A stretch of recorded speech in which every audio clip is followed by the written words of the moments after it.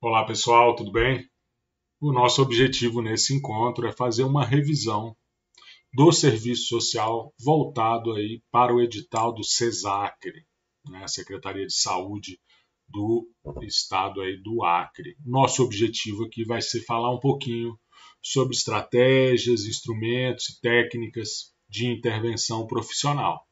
Mais do que isso, a gente pensou algumas questões da banca, o IEB, IBFC, melhor dizendo, para que a gente possa fazer aqui, dar uma olhada no perfil da banca, no tipo de questão que ela costuma abordar. Tá? Então a gente vai ter três momentos nesse encontro de hoje. Um primeiro momento para dar uma revisada ali nos principais pontos do edital. Um segundo momento para discutir a questão das estratégias e das, dos instrumentos de intervenção profissional, e um terceiro momento para fazer exercícios voltados para a banca que está organizando o concurso aí da CESAC. Beleza, pessoal? Informo que eu estou aqui no chat, estou de ouvidos e olhos atentos para tirar dúvidas de vocês, para a gente trocar ideias. Sejam todos e todas muito bem-vindos a esse momento, beleza, galera? Então vamos dar uma olhadinha aqui no material do encontro de hoje, beleza? Olha só, galera, o primeiro ponto que eu vou destacar para vocês aqui é a prova, a prova objetiva, tá certo? Da prova objetiva a gente tem 10 questões de língua portuguesa, 10 questões de história e geografia do Acre e 10 questões de informática básica, certo? Olha só, atenção. Vocês têm que estudar esses conteúdos básicos, que são 30, valem 30 pontos, e vocês têm aí que obter pelo menos 50% da nota da, dos conhecimentos gerais. E não pode zerar nenhuma questão. Então, bora estudar informática, história e geografia do Acre e língua portuguesa, beleza? Não se esquecer desses outros pontos. O GRAN tem aí um cursinho voltado para esses pontos, tá certo? Mas, pessoal, o que vai pesar na hora da aprovação de vocês são as questões específicas. A gente vai ter 50 questões de serviço social. Vale a pena aí maratonar, tá certo? Treinar, inclusive treinar, fazer muitas questões de serviço social de uma vez só, porque às vezes a banca nos vence pelo cansaço, tá certo? Então treinar, fazer provas e provas grandes, provas de 40 questões para cima, tá certo? Fazer simulados com muitas questões de serviço social. Porque o cansaço às vezes nos leva a confundir, a cometer pequenos deslizes. E mais do que isso, a prova específica tem um peso de 1.4, tá? Então, dedicação total aos conhecimentos específicos. Beleza? Pessoal, atenção. A prova discursiva terá caráter eliminatório e classificatório vai, e vai valer 20 pontos, considerando-se habilitado, habilitado o candidato que nela obtiver nota igual ou superior a 10 pontos. A prova vai ser é, constituída de uma redação cujo tema será fornecido no momento da prova objetiva. Para o desenvolvimento da redação, o candidato deverá redigir no mínimo 20, no máximo 30 linhas tá? com, com os critérios de correção aí da banca. Atenção, pessoal, vocês vão ter que treinar nesse processo também redação. É indispensável aí a prática da escrita, até para o processo de aprendizado. Os, os alunos que eu acompanho nos estudos mais diretamente, eu sempre recomendo que, que eles dediquem um tempo específico para a escrita, certo? A escrita é uma forma fundamental de aprendizagem. Então, fazer pelo menos uma, recomendo duas, redações por semana, tá certo, pessoal? Vamos falar um pouquinho dos conteúdos da prova, tá? Lembrar aqui para a galera que está assistindo a, a live aí, tá todo mundo muito bem-vindo, seja todo mundo muito bem-vindo. Vamos aproveitar esse momento para tirar dúvidas, para trocar ideias aí com o professor tá? Lembrando aí que a gente está aí numa maré muito boa de concurso, a gente tem concurso em todos os estados do país, a gente vai ter aí um concurso que é muito atrativo né, para todos os assistentes sociais, o concurso do Senado, a gente vai fazer uma preparação específica para vocês, tem o TJ de Minas também. A gente está focando o CESAC hoje, mas quem está estudando para outros concursos pode aproveitar o encontro de hoje para reforçar os seus conhecimentos sobre estratégias e instrumentos do serviço social. Pessoal, atenção aqui.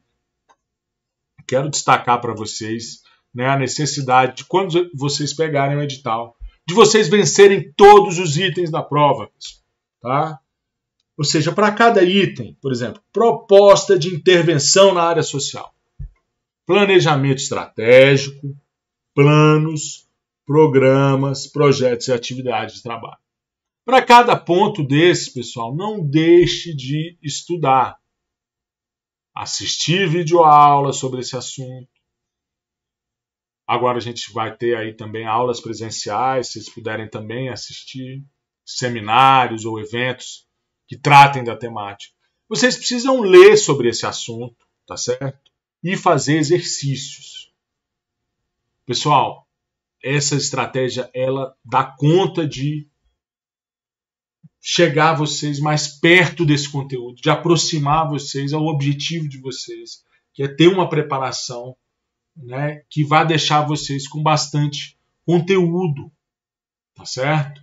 Então não deixe de enfrentar cada item do edital. Vá marcando aí, pessoal, cada ponto do edital de vocês, tá certo? Olha aqui, estratégias, instrumentos e técnicas de intervenção, abordagem individual, técnica de entrevista, abordagem coletiva, trabalho com grupos, em redes e com famílias, atuação em equipe interprofissional. Todos esses pontos aqui são pontos indispensáveis que fazem parte aí da dimensão técnico-operativa do serviço social. A questão das instituições, das organizações sociais, do trabalho institucional e das estratégias de trabalho, a prática profissional do assistente social na instituição, possibilidades e limites. Tá? Então é importante dar conta de todos os tópicos do edital. Análise e fundamentação das relações sociais no âmbito das instituições. Está vendo que esse é um edital que pesa muito no debate sobre instituições. Prática profissional, prática social e prática institucional. Tá certo? A gente tem que entender que os autores que discutem a questão do trabalho do assistente social no espaço institucional discutem aí principalmente a questão das relações de poder e de saber desse espaço institucional, como aponta o professor Vicente Faleiros. Lembrando que as instituições sempre vão colocar uma requisição que apresenta uma natureza burocrática, que apresenta uma natureza voltada à busca de resultados, numa orientação pragmática, diferentemente do trabalho do assistente social, que segue uma orientação a partir do uso da instrumentalidade, da defesa dos direitos, da participação cidadã. Então, o foco da nossa abordagem é democrático.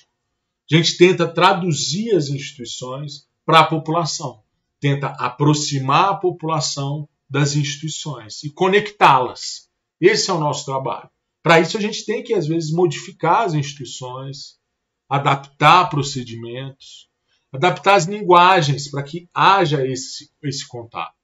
Então, é nessa mediação, nesse meio de campo, que transita o nosso fazer profissional. Mas lembrando, quem determina o nosso trabalho são as instituições, utilizando as leis, utilizando o poder hierárquico. Então, a gente vai enfrentar nessa relação institucional, muitas das vezes, conflitos, tanto na relação com o usuário quanto na relação com gestores, com outros profissionais. Para lidar com isso, o que a gente traz, chama a atenção de vocês. A gente vai utilizar o nosso código de ética, que fala dos direitos e deveres nas relações com as instituições, com os usuários, e vai utilizar fundamentalmente o nosso projeto ético-político. Ou seja, qual a finalidade da nossa ação profissional? Assegurar o acesso a direitos da população assegurar a participação. Então, nesse sentido, esse é o nosso foco: trabalhar para acolher essas necessidades da população. Veja, pessoal, é, falando de metodologia do serviço social, a gente tem aí os métodos utilizados na ação direta com indivíduos, grupos, e segmentos populacionais, técnicas e entrevistas utilizadas na prática do serviço social. Tem também a questão da redação e correspondência oficial, laudo e parecer social e psicossocial, estudo de caso, informação e avaliação social, atuação em programas de prevenção e tratamento, uso do álcool, tabaco e outras drogas. Tá? A gente vai falar um pouquinho também de laudo, de estudo social e parecer aqui hoje. Além disso, pessoal, tema que está presente em todas as provas: política de segurança, previdência, assistência, LOAS, política de saúde, SUS, tá? legislação de serviço social, a lei de regulamentação, código de ética, estatuto da criança e adolescente, foco aí no conselho tutelar, alternativas para resolução de conflitos, atendimento a pessoas em situação de rua, diversidade sexual e gênero, legislação do SUS, da LOAS, Lei Maria da Penha, Estatuto do Idoso, Lei Brasileira da Inclusão da Pessoa com Deficiência, Estatuto da Pessoa com Deficiência. Esses são os conteúdos da prova, tá certo, pessoal? Falar um pouquinho para a gente discutir estratégias e técnicas de serviço social, a gente tem que falar de instrumentalidade, pessoal. A instrumentalidade no exercício profissional refere-se não ao conjunto de instrumentos e técnicas, mas a uma determinada capacidade ou propriedade constitutiva da profissão, construída e reconstruída no processo sócio-histórico. Então, quando a gente fala de instrumentalidade, fala da forma pela qual os profissionais de serviço social se apropriaram deste trabalho para dar uma determinada orientação, como a gente já chamou a atenção. A orientação que a gente dá para o nosso trabalho é a da defesa dos direitos, certo? A gente tem também aí uma preocupação com a qualidade da ação profissional em termos teórico-metodológicos, metodológicos, melhor dizendo, e com um compromisso com a população usuária. Para tanto, o exercício profissional deve ultrapassar a mera ação burocrática para atender o projeto ético-político do serviço social. No processo de trabalho, a passagem do momento da pré-ideação para a ação propriamente dita requer instrumentalidade, requer a conversão das coisas em meios para o alcance dos resultados. É nesse sentido que o que vale são as finalidades que vão determinar o modo de atuar e a escolha por alternativas. Ao ser objetivados pelo trabalho, os objetos que adquirem instrumentalidade capacidade de se tornarem instrumentos que satisfazem as finalidades humanas, pessoal. Essa é a lógica da instrumentalidade. E aí a gente vai ter dois tipos de razão. Uma razão, que é a razão instrumental, que é uma mera racionalidade subordinada e funcional. Subordinada ao alcance dos fins particulares, dos resultados imediatos e funcional às. Por isso, funcional capital limita-se a garantir eficácia e eficiência. A razão substantiva é emancipatória. É a razão voltada para os fins universalistas, para valores sociocêntricos. Preocupa-se com as implicações acerca das escolhas dos meios e no estabelecimento das finalidades. É uma razão voltada aí para o alcance dos objetivos maiores do ser humano, para o bem-estar do ser humano. Mas há que se considerar que se os valores adquirem significados de acordo com as necessidades objetivas da reprodução social na ordem burguesa, os valores vigentes são instrumentais. Isto porque essa sociedade não se reproduz sem que todas as coisas constituam valores instrumentais, melhor dizendo, vocacionados para atender às necessidades capitalistas. Assim, pessoal, pela mediação da cultura, o assistente social pode negar a ação puramente instrumental, imediata, espontânea e reelaborá-la em nível de respostas socioprofissionais. O nosso objetivo, então, é esse: trabalhar numa perspectiva de reelaborar as nossas respostas socioprofissionais, de reinventar aí o nosso trabalho diante das demandas institucionais, de maneira que as instituições, as políticas sociais, os serviços públicos estejam conectados às reais necessidades da população, estejam próximo às demandas concretas da população usuária. Pessoal, vamos falar um pouquinho aí dos instrumentais aí do serviço social. Vamos destacar aí, é, primeiramente, o estudo social. Tá? O estudo social, pessoal, é um processo metodológico específico do serviço social. E ele tem aí a finalidade de conhecer com profundidade, de forma crítica, uma determinada situação ou expressão da questão social, que é objeto da nossa intervenção profissional. É nesse sentido, pessoal, que a gente vai desenhar o estudo social como um recurso que vai fazer com que o assistente social relabore essa demanda da realidade. O objetivo quando a gente faz um estudo social é ressignificar aquela realidade imediata. Então, por exemplo, se a gente vai fazer um estudo social para verificar ali uma demanda de adoção A demanda imediata vai nos mostrar, é, inicialmente, que houve uma situação de negligência, por exemplo, maus tratos na família. Mas é só a partir do estudo social, da investigação dessa situação social, à luz da questão social, da realidade que a gente vivencia, da, da entrevista social, da fala com os, as pessoas, da visita domiciliar, que a gente vai identificar de fato a necessidade ou não de adoção ou do encaminhamento dessa família para o sistema de proteção social. Só a partir da análise, por exemplo, das violações que essa família sofreu, que a gente vai conseguir entender essa realidade. Então, o estudo social vai distinguir o nosso trabalho, que é profissional, técnico e especializado, do trabalho de um outro profissional que não tem essa formação. É nesse momento que a gente vai trazer o nosso olhar teórico metodológico e a nossa orientação ético-política para interpretar essa realidade e dotá-la de significado, tá certo? Então esse é o grande objetivo do estudo social, preencher ele de significados a partir da nossa leitura da questão social, da política social e da realidade sócio-histórica em que a gente está inserido, beleza?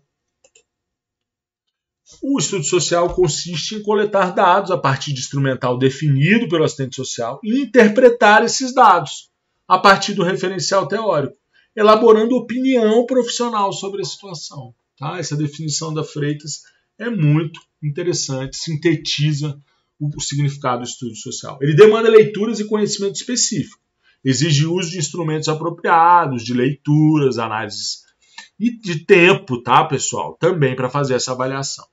Ele é realizado através de entrevistas, visitas domiciliares, pesquisa documental e bibliográfica, observações, juntadas de documento, ok? Ou seja, uma série de informações com as quais o profissional constrói e elabora um saber, ok, pessoal? É um saber que é, não é imediato, é um saber que prende significados, de conteúdos que é a respeito da população usuária, dos serviços sociais e das instituições. Tá certo? Então veja, pessoal, no processo de realização dos estudos sociais, a gente utiliza diferentes técnicas. Tá? As mais comuns que a gente usa são as entrevistas, a chamada entrevista social, a visita domiciliar ou a visita institucional e a análise ou pesquisa documental. É a partir desses três elementos que a gente consegue levantar informações para realizar uma abordagem, uma intervenção profissional, para planejar nossa intervenção e para proceder à orientação, ao encaminhamento ou à elaboração de um relatório ou laudo social. Beleza? O que quer dizer o parecer social? É a opinião fundamentada que o assistente social emite sobre a situação estudada esclarecimentos e análises com base em conhecimento específico do serviço social. É um momento onde que a gente coloca a nossa opinião. Deve ou não acontecer a adoção? E por que vai acontecer ou não a adoção? Essa pessoa deve ou não acessar um benefício?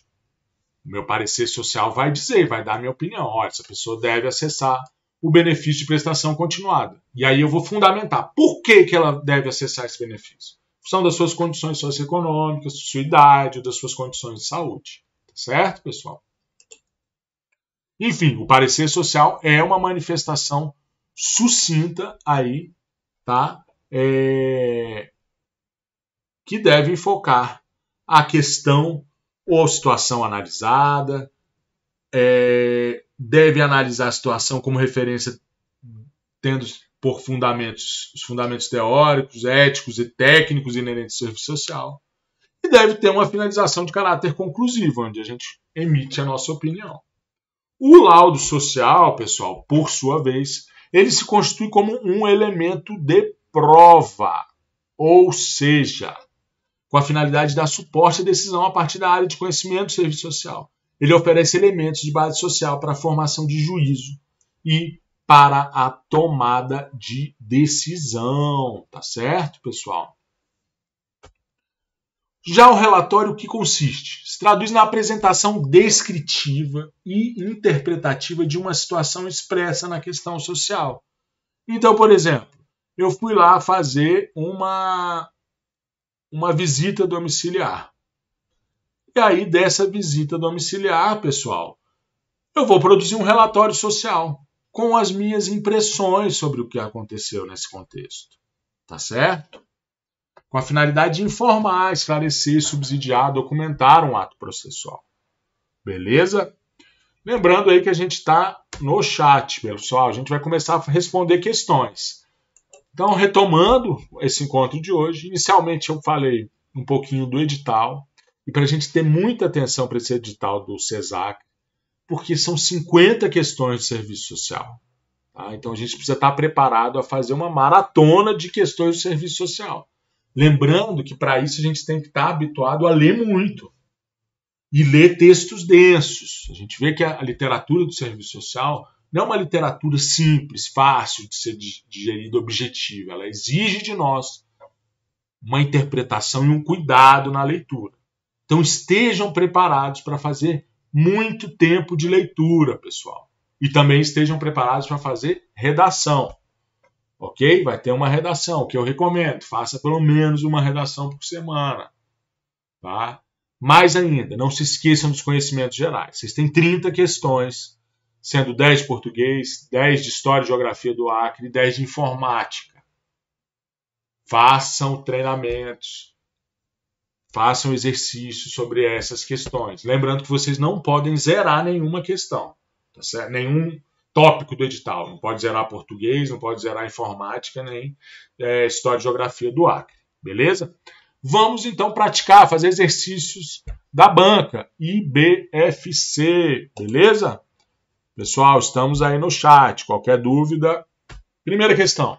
A Lei 8.862 de 93, que regulamentou a profissão de assistente social no Brasil, em seu artigo 9, definiu que há um fórum máximo de deliberação da profissão Considerando o disposto tal artigo, podemos inferir que, vamos lá, letra A, o fórum máximo de deliberação dar-se-á no colegiado dos cursos.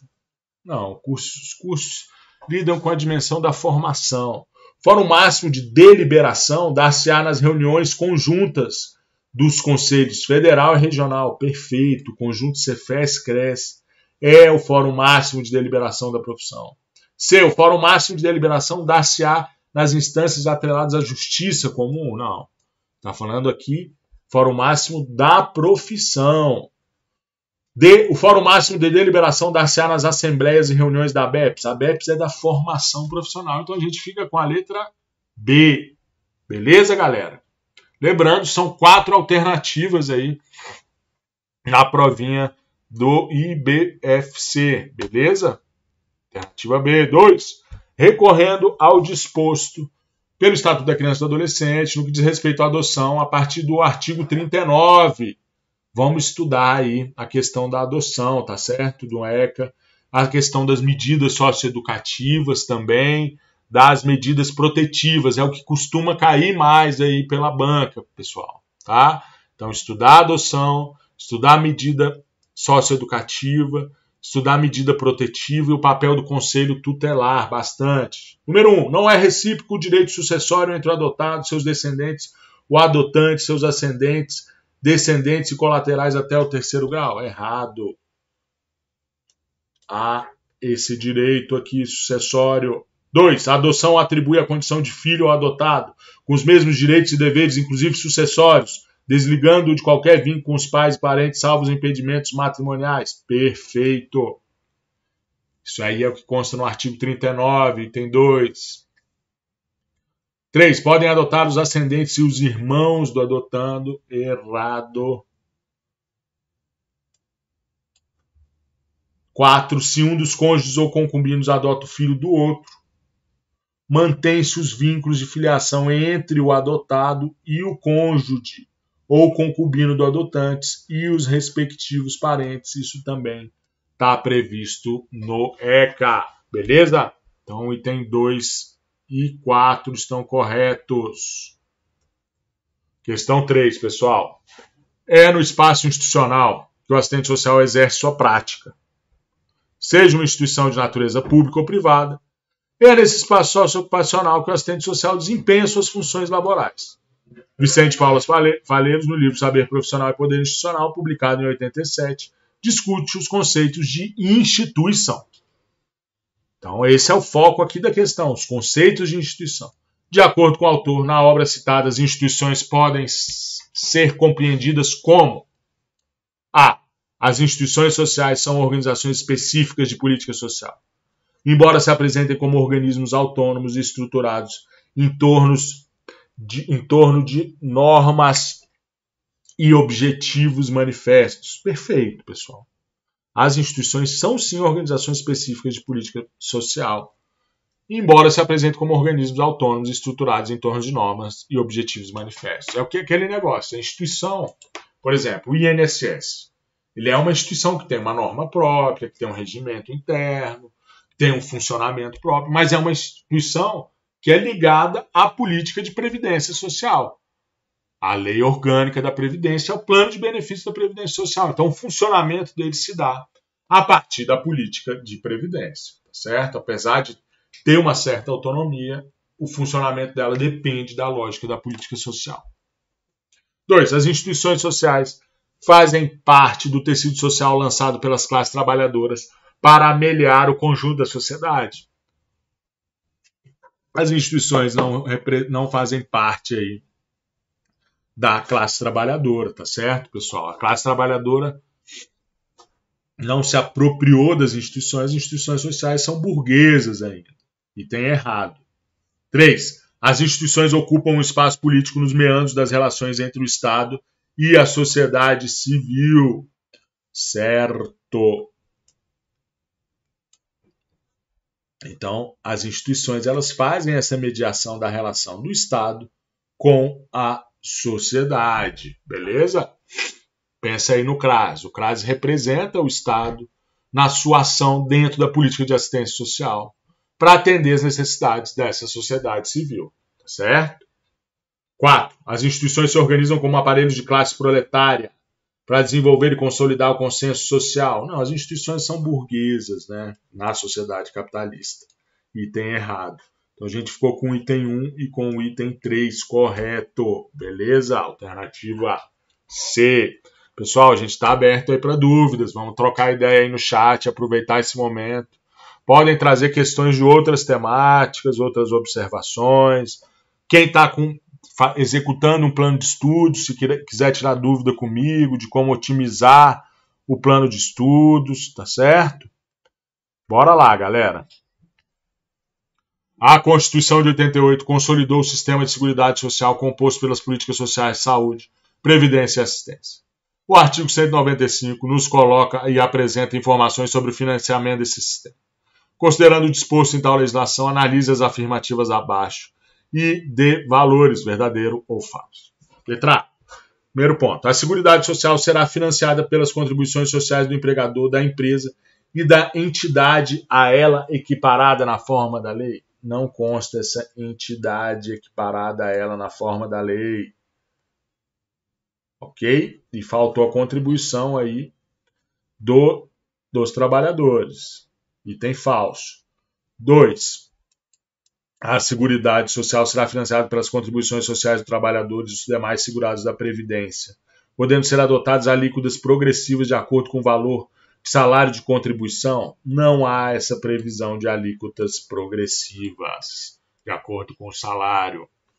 3. A Seguridade Social será financiada pelas contribuições sociais do importador de bens ou serviços exterior e de quem a ele equiparar. Não há também essa taxação sobre o importador de bens.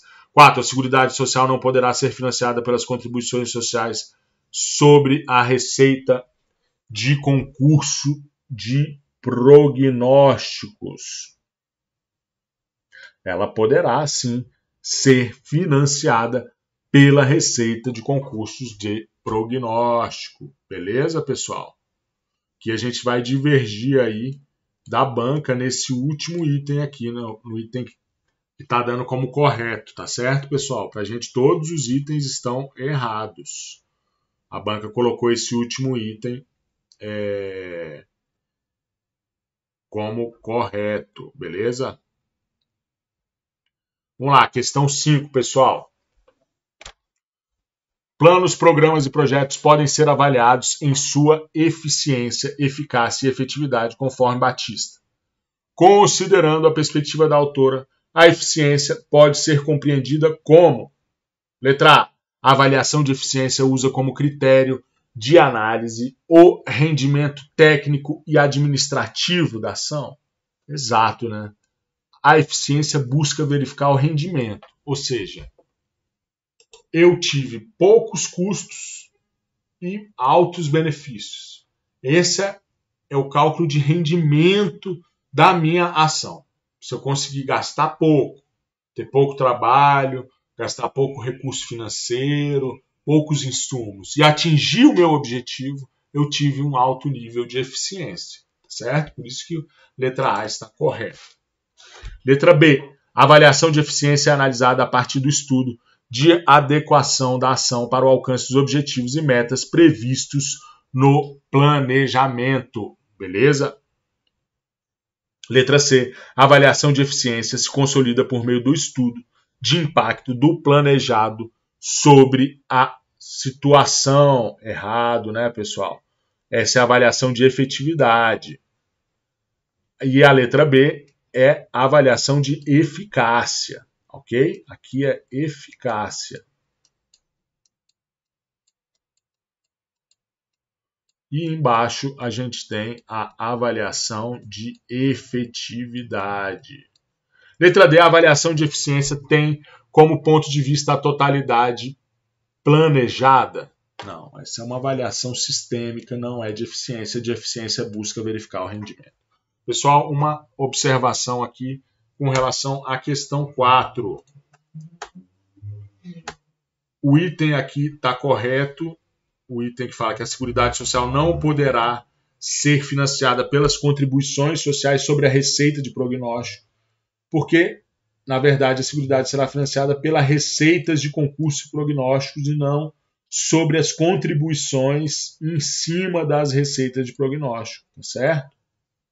Então há uma taxação exclusiva aí, voltada para a receita de concursos e prognósticos, por isso que o item está correto. Questão 6. Sobre avaliação de planos, programas e projetos, considerando a perspectiva de Batista, analise as afirmativas abaixo de valores verdadeiro ou falso. Primeiro item. A avaliação está presente dialeticamente em todo o processo de planejamento certo, né, pessoal? A gente está avaliando a todo momento o nosso processo de planejamento, reavaliando e retroalimentando o planejamento. Dois, a avaliação deve ser realizada ao final do processo de planejamento, de forma dialética, não necessariamente ao final, né, pessoal? A gente recomenda que ela seja feita ao longo de todo o processo de planejamento. E tem errado. A avaliação de um projeto ou ação não pode considerar as mudanças nas situações trabalhadas. Na verdade, ela deve considerar essas mudanças. Né? E tem também errado. Item 4. A avaliação no processo de planejamento corresponde ao momento em que as decisões, os procedimentos são colocados em questão. Veja, pessoal, a avaliação de fato é o momento em que a gente coloca aí em questão as decisões e os procedimentos adotados, tá certo? A gente vai verificar a validade daquelas decisões que a gente teve para ver se elas estão adequadas ou não. Então, esse item está correto. A avaliação diz respeito aí ao momento em que as decisões e os procedimentos são colocados em questão. Questão 7. Barroso faz uma série de indicações sobre o desenvolvimento histórico dos códigos de ética do assistente social. Considerando a indicação da autora, analisa as afirmativas abaixo. Os códigos de ética brasileiro de 65 e 75 permanecem caudatários do tradicionalismo profissional. Certo, né, pessoal? Não há ruptura no Código de Ética de 65 e 75. Tá? o serviço social tradicional ainda prevalece. 2. Os códigos de ética de 65 e 75 reproduzem a base filosófica é, cristã. É, eles seguem ainda essa orientação tradicional da filosofia cristã que guiou o surgimento do serviço social. Né?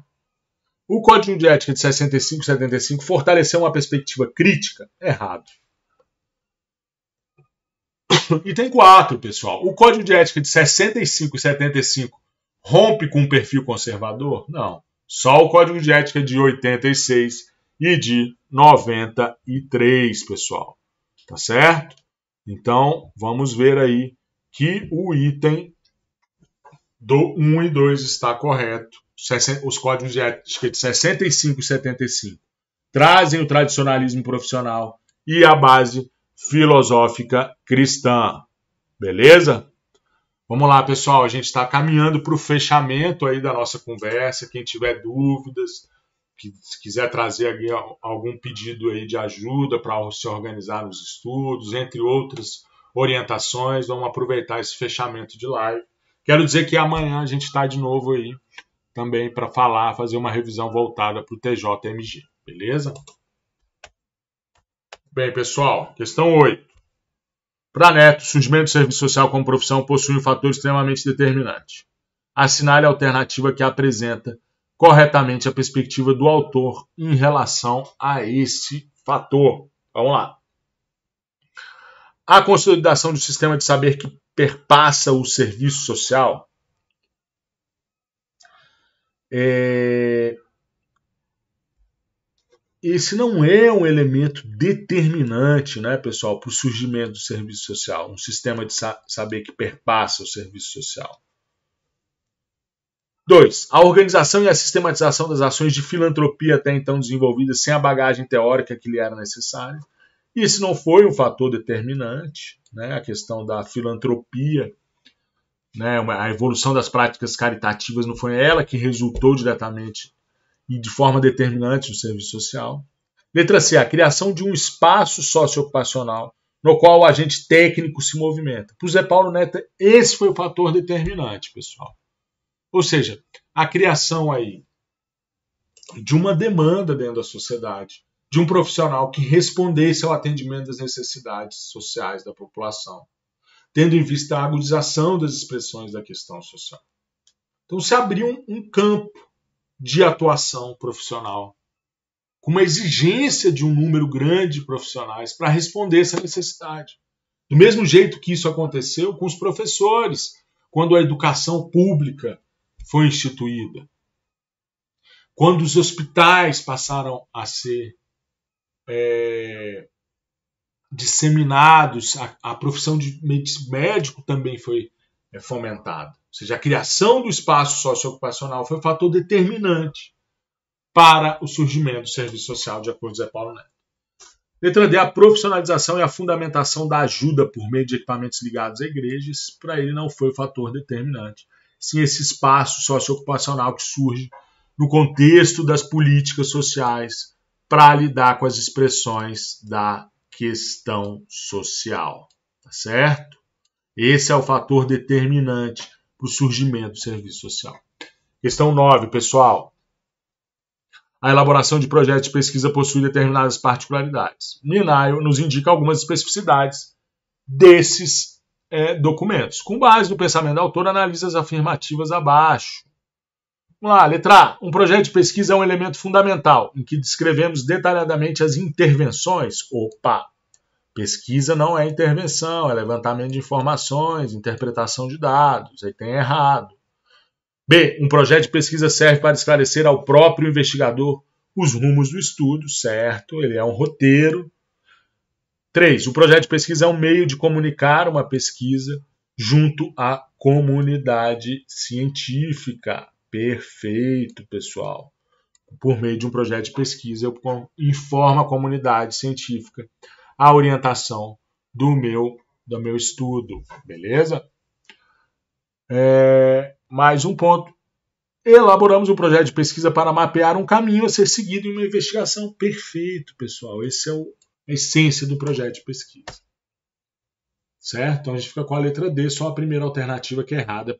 Projeto de pesquisa é diferente de projeto de intervenção.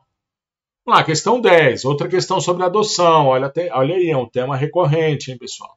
A adoção de crianças e adolescentes é disciplinada pelo Estatuto da Criança e Adolescente, os artigos 39 e 52. Atenção, releia os artigos 39 e 52 do ECA. De acordo com a legislação, assinar a alternativa correta. O estágio de convivência não poderá ser dispensado, mesmo se o adotante já tiver sob a tutela ou guarda legal do adotante, durante tempo suficiente para avaliar a conveniência da constituição do vínculo. Pode ser dispensado, sim. B. A adoção não depende do consentimento dos pais ou do representante legal do adotando? Depende, sim. Nem nos casos que o poder familiar foi destituído. C. Não podem adotar os ascendentes e os irmãos do adotando? Certo, né, pessoal? Ou seja, não podem adotar irmãos nem ascendentes. D. Para adoção conjunta, é dispensável que os adotantes sejam casados civilmente ou mantenham união estável, comprovada a estabilidade da família. Não é dispensável, é indispensável que os adotantes sejam casados ou mantenham união estável nos casos de adoção conjunta, tá certo? Então, releia os artigos 39 e 52 do ECA. Beleza, pessoal? Com isso, a gente vai fechando essa conversa de hoje, tá? A gente continua disponível aí nos canais do Gran Curso para dar orientações, para trocar ideias, para fazer revisões e para contribuir com o processo de aprendizagem de vocês, para contribuir aí com o objetivo maior de vocês, que é o alcance aí né, do, de uma vaga em um concurso público, em uma residência, beleza? Vou me despedindo de vocês, deixando aí um abraço forte aí para meus filhos, meus pais. Um beijão aí para a Poliana. Tchau, tchau. Valeu, galera.